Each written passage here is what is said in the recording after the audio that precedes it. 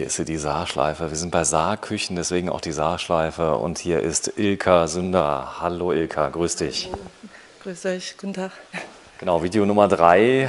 Wir haben eine ganze Videoserie gedreht, wo du immer kurze Küchen vorstellst oder kurz eine Küche mal vorstellst.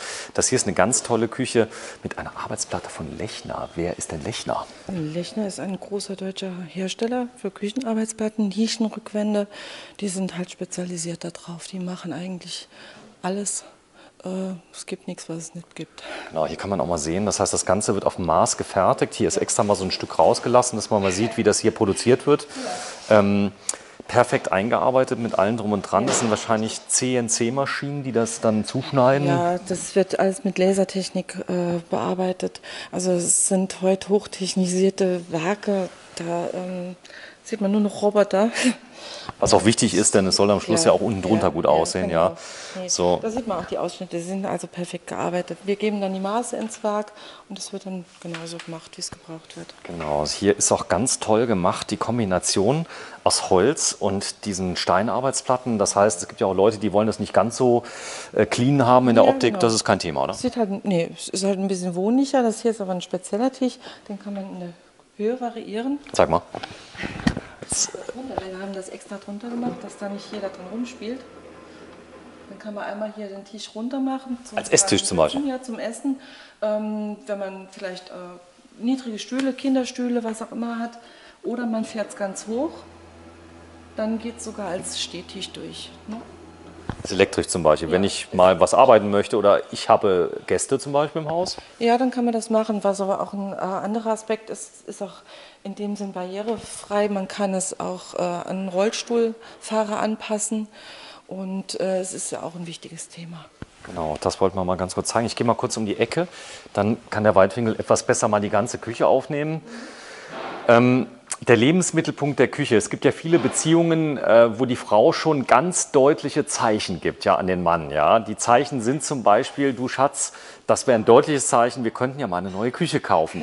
Aber die Zeichen, die sehen ja auch ganz anders aus. Ja? Wie können die aussehen? Ja, der Kühlschrank ist kaputt, die Geschirrspülmaschine ist kaputt.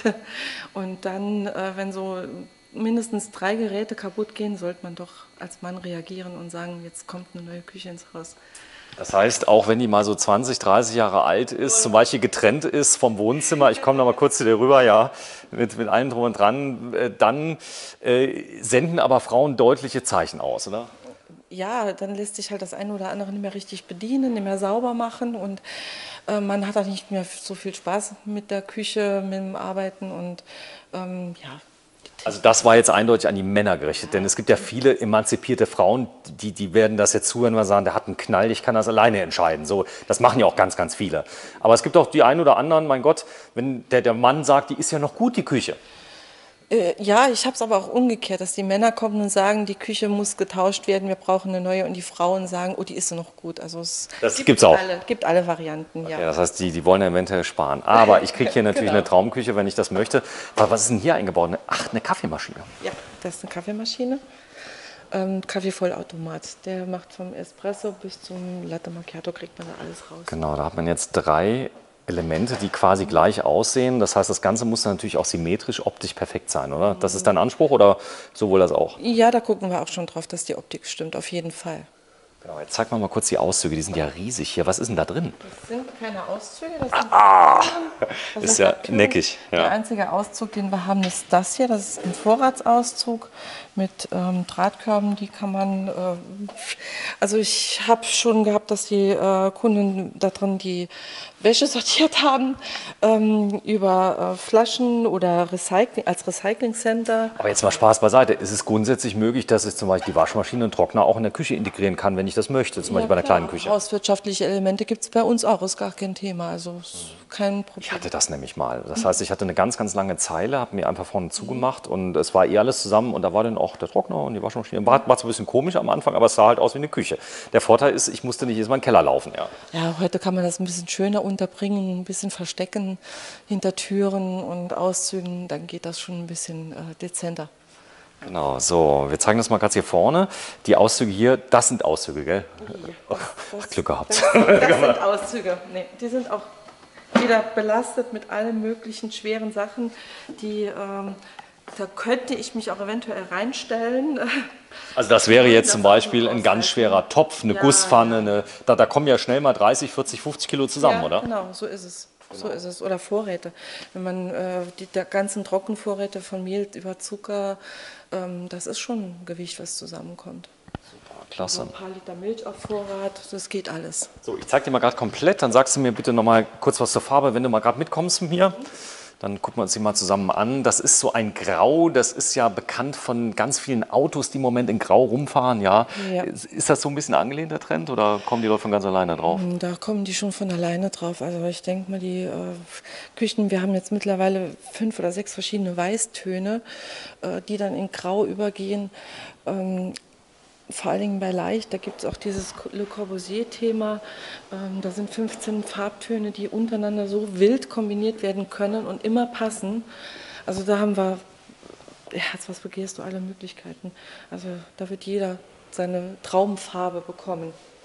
Genau, zum Thema Traum. Ihr verkauft ganz viele Küchen. Äh, der Herr Saab, wenn das mal erzählt, zwischen 400 und 600 Küchen im Jahr. Ja. Das ist schon einiges, oder? Ja, das ist schon ein bisschen was. Das ist eine Hausnummer. Das heißt, dann sollte natürlich auch der Service, der Afterservice und alles drum und dran stimmen. Du bist jetzt seit Anfang des Jahres hier. Mhm. Du bist ziemlich, äh, ich sag mal, froh hier zu sein, weil alles irgendwie passt, oder? Ja, genau. Es ist stimmig. Sagt Ilka Sünder, ich lasse das mal so stehen. Wo findet man dich? Bei Saarküchen in Ensdorf. Telefonnummer 06831 966 700. 966 700 in Ensdorf vor Weiser-Louis 06831 966 700, 700 mhm. sagt die Ilka ja. Sünder. Ich zeige sie nochmal, da ist sie komplett. Sie hat nämlich, wie viele Kinder hast du selber? Drei. Drei Kinder, das heißt, du bist auch sachverständig, wenn es darum geht, dass die Kinder die Küche auch lieben müssen, oder? Meine Kinder lieben ihre Küche, ja, und, äh, so wie ihre Mama. okay, klasse. Ja. Vielen, vielen Dank, Ilka.